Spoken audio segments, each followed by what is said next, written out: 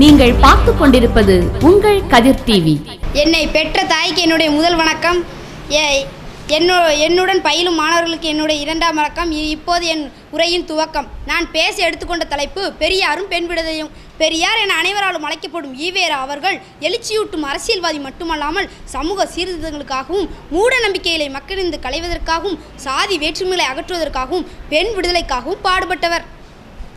இவர் செப் ஈரோட்டில் வாழ்ந்த வெங்கட்டப்ப நாயருக்கும் சின்னத்தாய் அம்மைக்கும் பதி பதினேழு ஒம்பது ஆயிரத்தி எண்ணூற்றி எழுபத்தொம்பதாம் ஆண்டு மகனாக பிறந்தார்.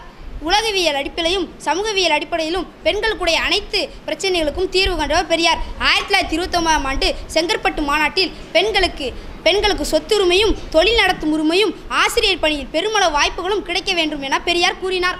ஆயிரத்தி தொள்ளாயிரத்தி முப்பத்தி ஏழாம் ஆண்டு விதவை பெண்களுக்கு சொத்துரிமையும் தொழில் நடத்தும் உரிமையும் தொழில்நடத்தும் உரிமையும் அர- தமிழக அரசால் வழங்கப்பட்டன. ஆயிரத்தி தொள்ளாயிரத்தி ஐம்பத்தி ஆறாம் ஆண்டு இந்து வாரிசு சட்டமும் பரத்தமை சட்டமும் குற்றமாக்கும் என அமலுக்கு வந்தன. இன்றைய சூழ்நிலையில் பெண்கள் இன்றைய சூழ்நிலையில் பெண்கள் பெண்களின் அடிமைத்தனம் மறைந்து பெண் பெண் உரிமை மேலோங்கி நிற்கிறது. இதற்கு இதற்கெல்லாம் காரணம் யார்? பெரியார் தானே.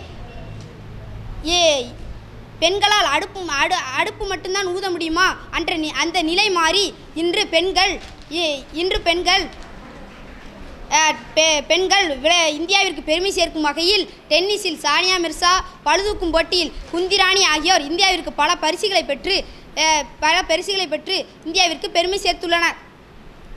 ப இருபத்தி நாலு இருபத்தி நாலு பன்னெண்டு ஆயிரத்தி ஆயிரத்தி தொள்ளாயிரத்தி எழுவத்தி நாலாம் ஆண்டு பெரியார் இவ்வுலகை விட்டு மறைந்தார் ஆ- இவ்வுலகை விட்டு மறைந்தார் ஆயிரத்தி தொள்ளாயிரத்தி எழுபதாம் ஆண்டு பெ ஆயிரத்தி தொள்ளாயிரத்தி எழுபதாம் ஆண்டு ஐநா சபை பெரியாருக்கு யுனெஸ்கோ விருது வழங்கப்பட் இது பெரிய ஐநா சபையால் பெரியாருக்கு யுனெஸ்கோ விருந்து வழங்கப்பட்டது. ஆயிரத்தி தொள்ளாயிரத்தி எழுபத்தா எழுபத்தி எட்டாம் ஆண்டு அவருடைய உருவப்படத்தை அவருடைய உருவப்படத்தை அஞ்சல் தலையாக வெளியிட்டது. இத்துடன் என் உரையை முடித்துக் கொள்கிறேன். நன்றி வணக்கம்.